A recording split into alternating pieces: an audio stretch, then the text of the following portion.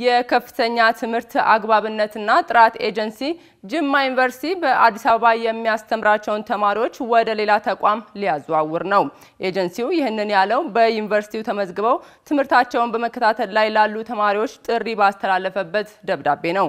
ጉዳዩን በሚመለከትም ናሁ ቴሌቪዥን የከፍተኛ ትምህርት አግባብነትና ጥራት ኤጀንሲ ዋና ዳይሬክተር አንዱ አለም አድማሴን በስልክ አነጋግሯቸዋል።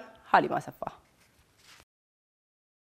የከፍተኛ ትምህርት አግባብነትና ጥራት ኤጀንሲ ከጅማ ዩኒቨርሲቲ በተጨማሪ ደብረ ማርቆስ፣ ባህር ዳርና ሀረማያ ዩኒቨርሲቲዎች በትብብር የሚሰጧቸው ትምህርቶች እውቅና የሌላቸው ናቸው ማለቱ ይታወሳል። ከዚህም ጋር ተያይዞ ተማሪዎቻቸው ወደ ከፍተኛ ትምህርት አግባብነትና ጥራት ኤጀንሲ እንዲልኩ ጠይቋል። ሌሎች ዩኒቨርሲቲዎች ተማሪዎቻቸውን አሳውቀዋል ያሉት የከፍተኛ ትምህርት አግባብነትና ጥራት ኤጀንሲ ዋና ዳይሬክተር አንዱ አለም አድማሴ ጅማ ዩኒቨርሲቲ ግን ይህንን አለማድረጉን ይገልጻሉ። ላይ ክብርት ሚኒስተራችን ይሄው ለአርባ አምስት ዩኒቨርሲቲዎች በትብብር የሚሰጡት ህጋዊ ማዕቀፍ እስከሚዘረጋለት መስጠት እንደማይችሉ እሱም መሰረት ተደርጎ አብዛኛዎቹ አቁመዋል። ተማሪዎቻቸውንም ወደ እኛ ሪፖርት አድርገዋል። ጅማ ዩኒቨርሲቲ ግን ይሄን አላደረገም። ስለዚህ እሱ መሰረት አድርገን እኛ ተማሪዎችን እኛ ጋር መጥተው እንዲመዘገቡ ነው ጥሪ ያደረግ ነው።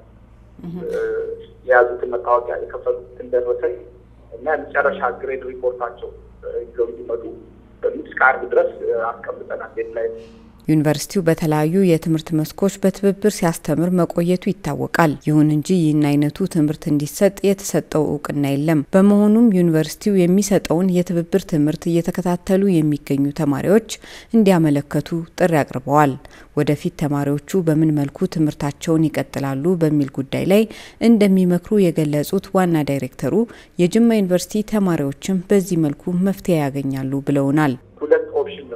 አንደኛው option ተማሪዎቹን ከጅማ ዩኒቨርሲቲ ጋር በመነጋገር ምናልባትም እንትን ያስፈልጋቸዋል የሚማሩበት ካምፓስ ማለትም library ያለው ሌሎች facility ዎች ያላቸው ምናልባት በአዲስ አበባ ዩኒቨርሲቲ ጋር በጥምረት እንዲጨርሱ ልናደርግ እንችላለን። ወይም ደግሞ ሙሉ በሙሉ ከጅማ ዩኒቨርሲቲ ወጥተው ወደ ሌላ ዩኒቨርሲቲ ውስጥ ገብተው እንዲጨርሱ እናደርጋለን። ከፍተኛ ትምህርት ተቋማትን በትብብር ከተለያዩ ተቋማት ጋር የሚሰሩትን የማስተማር ስራ በህገ መንግስቱ የማይፈቅድ ነው ያሉት ዋና ዳይሬክተሩ ይህንንም እንዲያቆሙ በ2006 እና 2007 ዓ ም በትምህርት ሚኒስቴር በኩል ደብዳቤ መጻፉን አስታውሰዋል። በትብብር ማስተማር አለመቻላቸው በአዋጅ የተቀመጠ ነገር ነው። የህግ አግባቡን መተግበሩ ቢዘገይም አሁን ተግባራዊ ይደረጋል የዶክተር አንዱ አለም ገለጻ ነው። ጉዳዩን በተመለከተ የጅማ ዩኒቨርሲቲ ከፍተኛ የስራ ኃላፊዎችን በስልክ ለማግኘት ያደረግነው ሙከራ ሳይሳካልን ቀርቷል።